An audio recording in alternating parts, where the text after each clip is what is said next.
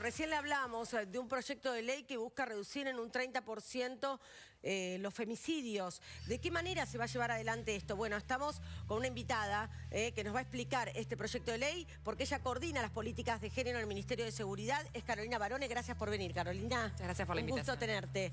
Si te parece, vamos a repasar en placas la propuesta que están haciendo desde el Ministerio de Seguridad para que luego la podamos desarrollar.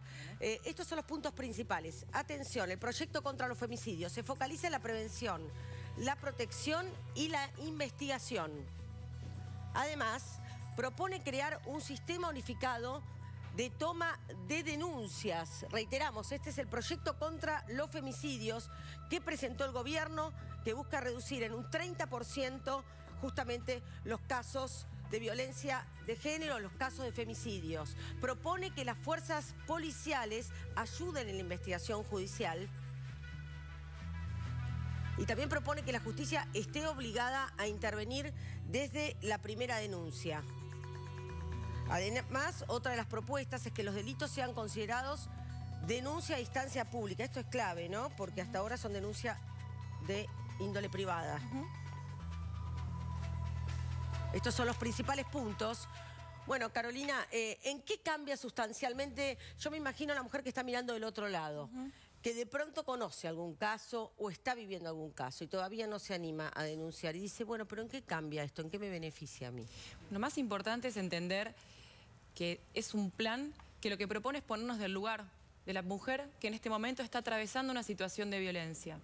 Sabemos por el informe de femicidios del Ministerio de Seguridad que solo el 16% de las víctimas de femicidios en Argentina había hecho una denuncia lo cual evidencia claramente Sí. las barreras que existen todavía en el Estado para poder hacer la denuncia. Puede ser por falta de confianza, por falta de empatía, por desconocimiento, por distancia. Falta de acceso a la justicia, Falta ¿no? de acceso. Al, identificar esto con un dato concreto, que es este que te dije, solo Sí. el 16% hecho- había hecho una denuncia previa, tenemos que pensar cómo hacer para llegar a que cada una de las mujeres pueda confiar en el sistema de toma de denuncias y principalmente capacitando a, todo el a, a todas, las, a todas las policías, pero sobre todo crear un Estado coordinado para dar una respuesta ante cada caso. La instancia pública especialmente tiene que ver con esto. No todas las veces las personas estamos preparadas emocionalmente, sobre todo para hacer una denuncia, pero es la única forma que tenemos como Estado para saberlo. Claro, claro. Entonces, pero si yo les pregunto a muchas de los que estamos hoy acá en este piso, ¿cuántas veces llamamos este año al 911? Posiblemente uno o cero. Sí. ¿O cuántas veces llamamos la 144 los que estamos acá? Exacto.